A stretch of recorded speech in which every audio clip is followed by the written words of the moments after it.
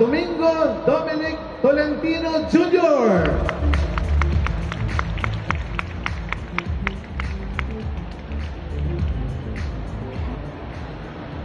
Uh, ah, magandang hapon po sa inyo lahat. Good afternoon. Una po sa lahat, uh, marami pong salamat dahil uh, pinagbigyan niyo po kami at uh, nag-abala po kayo na makasama natin sa pagdiriwang po natin ng uh, World's Uh, uh, yeah, I'm sorry. Uh,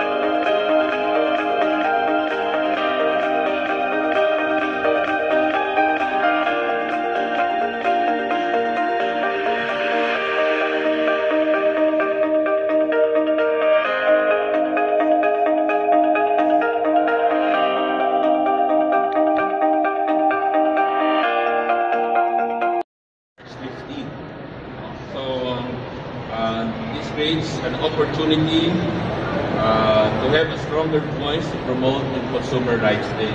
Remember po, consumers, consumer spending, consumption, accounts for, ano nyo kung magkano, 70% ng ekonomiya. 70% ng GDP. Ganyan po kalakas ang consumers. And, uh, and that's the reason why we really have to give importance dito po sa Consumer Rights Day. Ang advocacy po ng DTI is really to uh, increase the awareness ng ating mga consumers pagdating sa kanilang mga karapatan.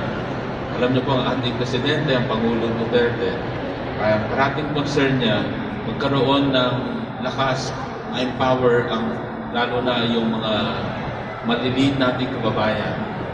Okay. On your mark, five, four, three, two, and one. Okay. Congratulations for the partnership of BPI and Robinson's